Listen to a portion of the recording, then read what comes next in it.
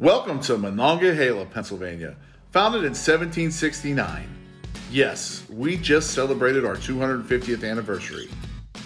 We are a small but proud river town bearing a Native American name, the same name as the river that flows through it north to Pittsburgh. We are nestled in historic Washington County in the rolling hills of southwestern Pennsylvania that people love to visit and call home. We sit surrounded by what was the heart of the American steel industry.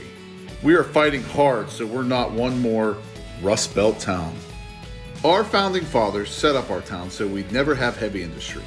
We're a bedroom community that is about two square miles in size. Population 4,100. The average income 27,000.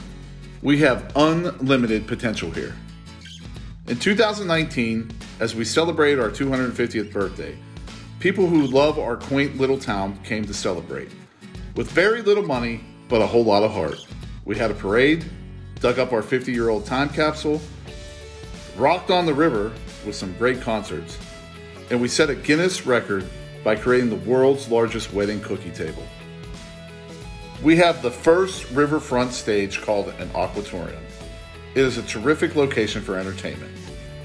A restaurant in our hometown, Angelo's 2, had the ingenious idea to hand make a work of art, a Ghostbusters display that had people flocking to our hometown. Then, two months later, Angelo's 2 decided to outdo themselves and they created another sensational display for Christmas.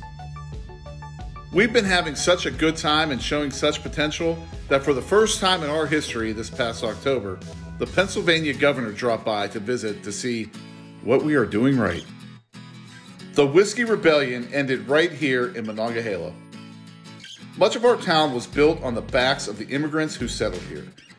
Much of the building was done in the 1800s, designed by a local architect. A lot of our older homes and businesses have been well cared for, but others, they need help. Our Main Street area is the most visible and historic section of our town.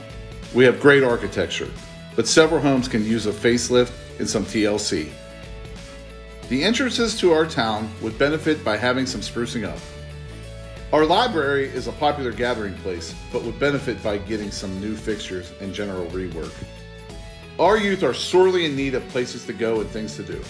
Our largest park, called the Mounds, is suffering from a lack of community resources. We can't afford to make new dugouts for our Little League teams. Our basketball court, tennis court, and playground are in disrepair. We suffer from a lack of recreation.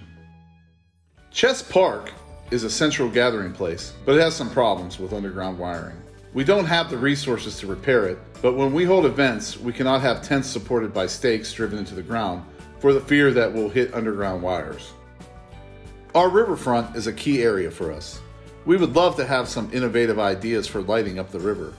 Our aquatorium, where we hold concerts, would benefit by having updated concession and eating areas, handicap seating, and updated sound and lighting for our concerts.